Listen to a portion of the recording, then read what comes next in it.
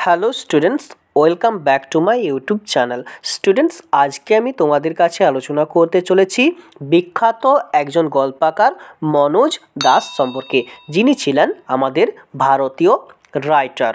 দেখো, মনোজ দাস জন্মগ্রহণ করেছিলেন সাতাশে ফেব্রুয়ারি উনিশশো চৌত্রিশ খ্রিস্টাব্দে ওড়িশার বালাসোরে, অর্থাৎ ওড়িশার বালাসোর জেলার সাঁকারি নামক গ্রামে, যেটা ব্রিটিশ শাসনের অধীনে ছিল সেই সময়। অর্থাৎ উনিশশো চৌত্রিশ খ্রিস্টাব্দে মনোজ দাস জন্মগ্রহণ করেছিলেন এবং আমরা জানি উনিশশো সাতচল্লিশ খ্রিস্টাব্দে পনেরোই আগস্ট ভারত স্বাধীন হয় এবং তার আগে এটা ব্রিটিশদের শাসনাধীনে ছিল, যার জন্য ব্রিটিশ ইন্ডিয়া দেখো বলা আসে তারপরে বলে রাখি যে মনোজ দাসের বাবা মধুসূদন দাস কাজ করতেন ব্রিটিশদের অধীনে, অর্থাৎ ব্রিটিশ গভর্নমেন্ট বা ব্রিটিশ সরকারের অধীনে তার বাবা কাজ করতেন। তার প্রথম রচনাটি ছিল উনিশশো উনপঞ্চাশ খ্রিস্টাব্দে। সে যখন উচ্চ বিদ্যালয়ে পড়া, পড়ে তখন তার প্রথম যে লেখা সাতবাদীরা আর্তানাদা নামে একটি কবিতার বই প্রকাশ করেন। তারপরে উনিশশো একান্ন সালে মনোজ দাস হাই স্কুল থেকে পাস করেন এবং তার প্রথম কালেকশন অফ শর্ট স্টোরিটার নাম ছিল সমুদ্রের ক্ষুধা। অর্থাৎ হাঙ্গার অফ সি যেটা ইংরেজিতে দেখো ব্র্যাকেটে আমি তোমাদেরকে লিখে রেখেছি। ইন দ্যাট ইয়ার অর্থাৎ সেই বছরে, অর্থাৎ উনিশশো একান্ন খ্রিস্টাব্দে, সে যখন হাই স্কুল থেকে পাস করেন, তখনই এই বইটি সে লেখেন। তারপরে দেখো আমি কি বলেছি he was active in student politics while studying BA in Cuttack college অর্থাৎ কটক কলেজ থেকে সে যখন বিএ পড়ছিল, সে সেই সময় সে একজন সক্রিয় যুবনেতা ছিলেন। তারপরে he was a youth leader with radical views in his college days and spend a year in jail for his revolutionary activities অর্থাৎ সে যেহেতু কলেজের দিনগুলিতে উগ্র দৃষ্টিভঙ্গি সহ এক যুবনেতা ছিলেন এবং তার বিপ্লবী কর্মকাণ্ডের জন্য এক বছর তাকে জেল খাটতে হয়। উনিশশো সালে he ultimately finished his graduation from Samantachandra Sekhar college Puri. অর্থাৎ পুরীর সামন্ত চন্দ্রশেখর কলেজ থেকে সে স্নাতক শেষ করেন।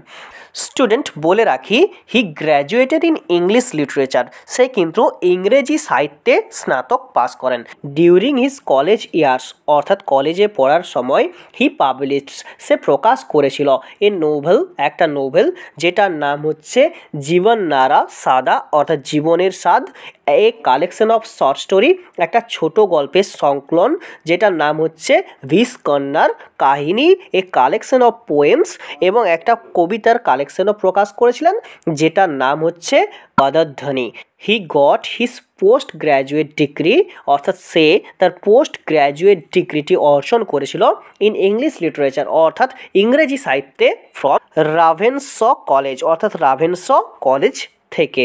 He work as a lecturer in Christ college Cuttack, অর্থাৎ কটকের ক্রাইস্ট কলেজে একজন লেকচারার হিসাবে সে যুক্ত হয়। দেন তারপরে হি জয়েন্ট, সে যুক্ত হয় শ্রী অরবিন্দ আশ্রম অ্যাট পাদুচেরি। অর্থাৎ পদুচেরির শ্রী অরবিন্দ আশ্রমে সে যোগদান করেন। সিন্স সেই থেকে উনিশশো তেষট্টি, অর্থাৎ উনিশশো তেষট্টি সাল থেকে he has been professor of English literature অর্থাৎ ইংরেজি সাহিত্যের প্রফেসর হিসাবে যুক্ত হয়ে আছেন at Shri Aurobindo international centre of education Puducherry অর্থাৎ পদুচেরির শ্রী অরবিন্দ আন্তর্জাতিক শিক্ষা কেন্দ্রে অধ্যাপক হিসাবে নিযুক্ত ছিলেন। দেখো স্টুডেন্ট তারপরে আমি কি বলেছি? দাস হ্যাজ বিন কম্পেয়ার অর্থাৎ দাসকে তুলনা করা হয় টু বিষ্ণু শর্মা বিষ্ণু শর্মাকে না সে পঞ্চতন্ত্র লিখেছিলেন। আমরা সকলেই জানি পঞ্চতন্ত্রের গল্পগুলি কত সুন্দর এবং আমরা সকলেই পঞ্চতন্ত্রের গল্পের সঙ্গে পরিচিত। কম বেশি সবাই এই পঞ্চতন্ত্র গল্পগুলি জানি এবং যার জন্য কি না, এখানে মনোজ দাসকে বিষ্ণু শর্মার সঙ্গে তুলনা করা হচ্ছে ইন মডার্ন ওডিশিয়ান লিটারেচার অর্থাৎ বর্তমান ওডিশিয়ান সাহিত্যে for his magnificent style and best story teller অর্থাৎ তাকে কেন বিষ্ণু শর্মার সঙ্গে তুলনা করা হয়েছে? যেমন বিষ্ণু শর্মার ছোট গল্পগুলি বা পঞ্চতন্ত্রের ছোট গল্পগুলি বেশ রসাত্মবোধ, সেই রকম মনোজ দাসের ছোট গল্পগুলির মধ্যে আমরা সেই রকম কিছু এলিমেন্ট পাই। এবং তার গল্পের মধ্যে আমরা কি না বিষ্ণু শর্মার পঞ্চতন্ত্রের মধ্যে বা পঞ্চতন্ত্র পড়ে বা পঞ্চতন্ত্রের গল্প শুনে যেমন আনন্দ পাই তার গল্পগুলির মধ্যে আমরা সেই রকম কিন্তু আনন্দ পাই।